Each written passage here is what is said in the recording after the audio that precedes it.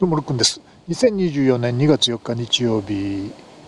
折り紙神社折り紙稲荷神社やってきました、えー、場所はですね、えー、朝日神社のすぐ西側。あちょっとこう福田金属工業という会社があるその一角になってます、えー、鳥居もですねなかなか新調されて立派な鳥居になってます。こちらがですね新十条通りですね、えー、では早速ですねお参り行きたいと思います、えー、神社の、まあ、境内はですね結構まあ車のですね、えー、駐車場の経営もされててなんかこう潤ってるようなそういった雰囲気になってます。こちらに駒札がありましたので読んでみたいと思います。折り紙神折り紙稲荷神社稲荷の主人である宇賀の御霊の神ほか日中を祭神としますと山科稲荷伏見稲荷奥宮とも呼ばれ社殿によれば伏見稲荷の狼が和道4年、まあ、伏見稲荷はですねあちらにあの稲荷山があるんですけどもあの稲荷山の向こうが伏見稲荷まあ、もともと伏見稲荷はあの稲荷山のあの頂上にもともと神さんおられたということで今現在は麓に引っ越しされてますがあの稲荷山の頂上にあったということです。稲荷山の伏見稲荷の狼が和道4年712年に降臨した際、えー、稲荷山の三ヶ峰の次に降りたのが当社境内の稲荷塚6世紀京都市遺跡と言われていますと。えー、平安京はできるずっと以前ですね800年以上前あ80年以上前ですね山に対する信仰と生産の信仰が一体となって、稲荷信仰が生まれたと考えられ極めて古い我が国民間信仰の姿をとどめています。幕末孔明天皇は大城祭に際して長橋の局など旅館の病気平癒を祈願し長命橋を奉納しましたと。以来女性死後の稲荷さんとも言われアメリカの大富豪モルガンと結婚して異国で数奇な運命をたどり日本の女性とりわけ今日の女性の名前を世界に広めた祇園の芸妓モルガンおゆきなど働く女性の守り神として信仰されていますということですね。こちらにもですねちょっとこう解説が一つあります。まあ、地図付きですねちょうど、えー、美味しいんじゃこちらにあって美味しいんじゃちょっとこう東のこの辺り一帯は坂上田村麻呂の墓があったり、えー、中富遺跡一帯が中富遺跡になってますね。のちょっと北側ですね。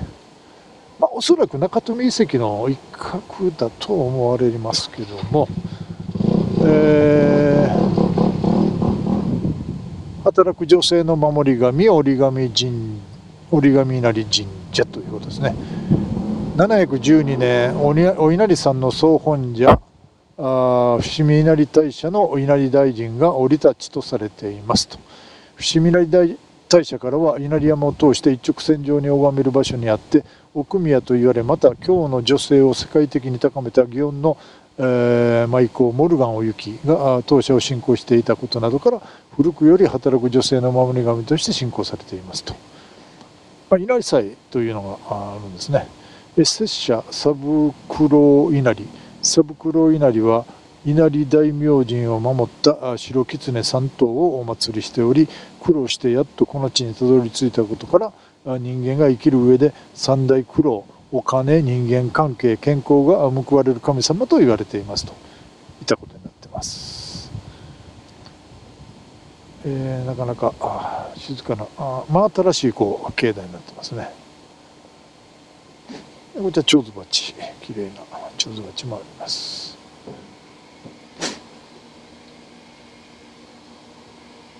あそれとですねこういった稲荷塚巡りっていうのがありましてえー、ちょっと一部いただいてみましょうか。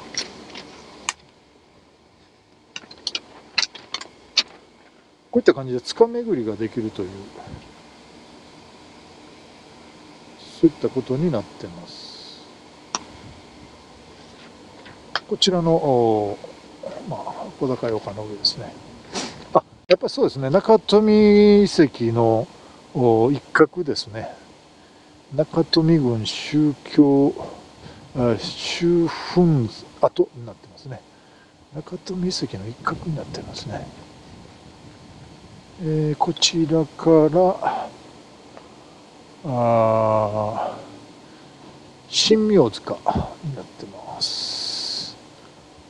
そういうことですね。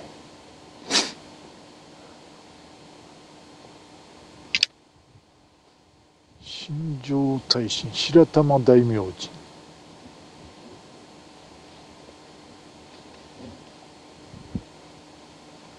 あなるほど。塚巡りができるわけですね。こうして、えー、こちらから回ったらいいのかちょっとよくわからないんですが。あこちらがですねお稲荷様の授けの健康なのストレスをためないの前向きなの商売のひらめきののをこのこぶを撫でて撫でいただいてくるあこれはこちらのことですね。キノコ部っていうことですね。ちょうどこう頭の人間の頭の脳のような感じになってますね。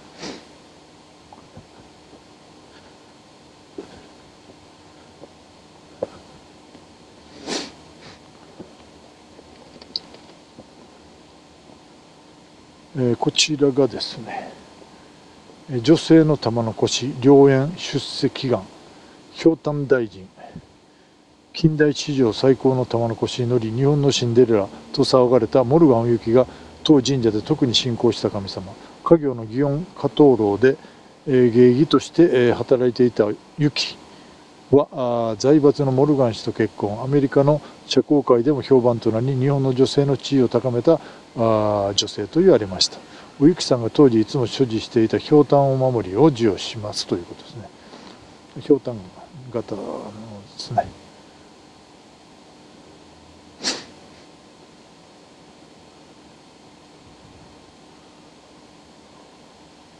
こちらにもこうお稲荷さんいろんな名前のお稲荷さんがありますね。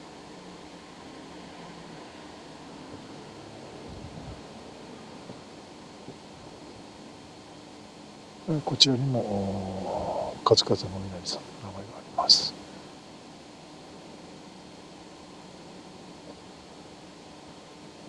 こちらがこちらが塚の本殿なんですかね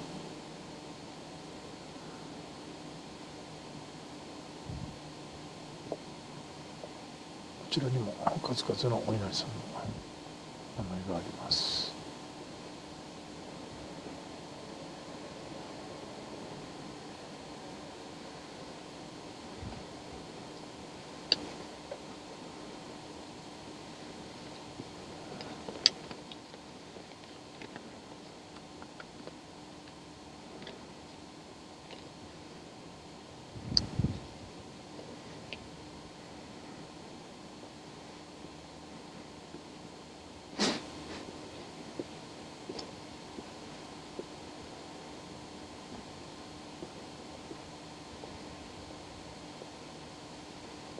ちらはくぐりができるということですね。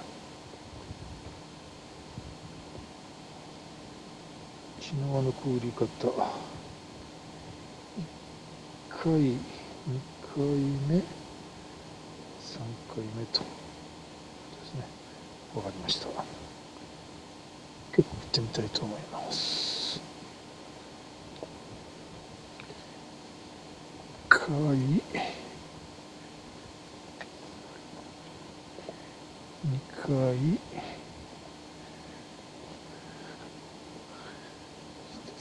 回目と。いうことになってます。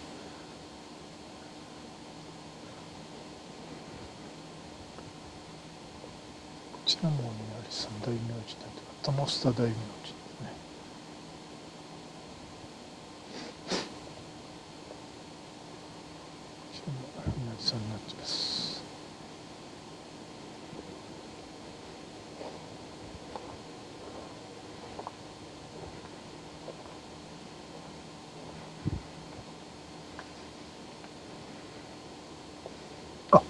とこれ巡れるんですね。海運腰掛け石あなるほど。ずっと巡れるんですね。いやこれは知らなかったです。ちょっと逆になるかもわからないですけど巡ってみましょう。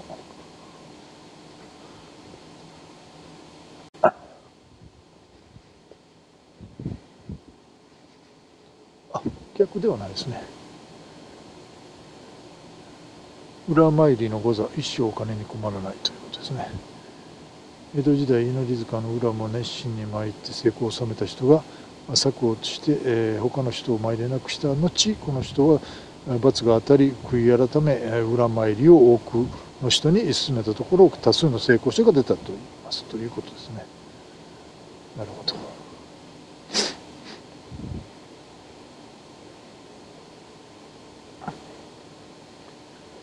ょっとここに出るのかよくわからないですけども多分出られるんでしょうね。あこちらに出られますね。なるほど。こういった感じになるんですね。上参りですね。ウッドが回ってきました。なるほど。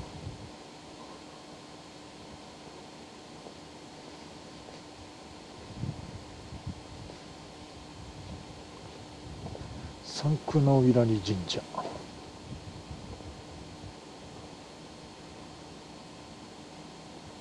1週間後期統合線になってますね。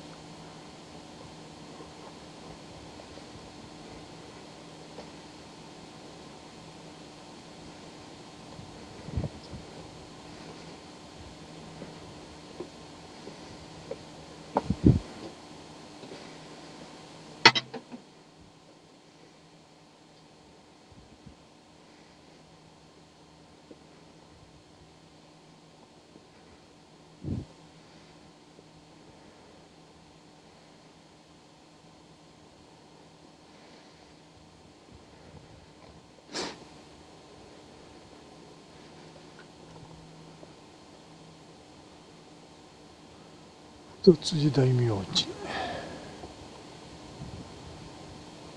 白弁財天。なってます。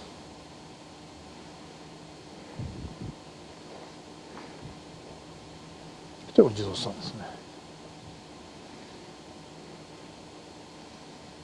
で本殿まで行きます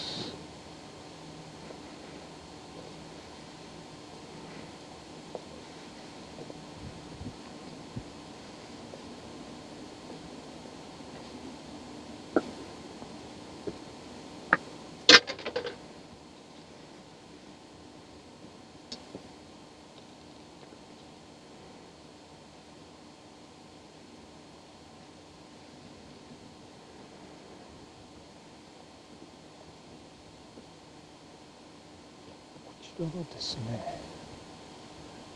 働く女性の守り神祈祷受付になってますね。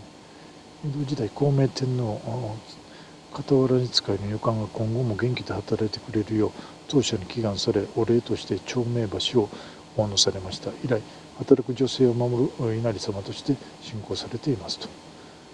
祈願働く女性の仕事商売がうまくいき良縁に恵まれいつまでも美しい健康長寿であり長命でありますようにという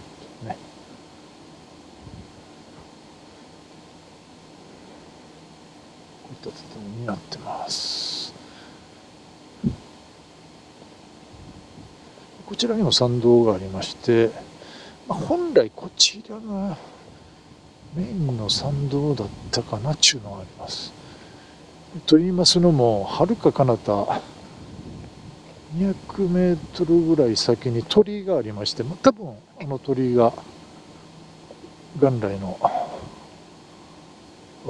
火山稲荷の鳥居だと思います。なるほどです。こちらにも、まあ、しっかりした灯籠が備えられています。以上、えー、折り紙神社折り紙稲荷神社でした。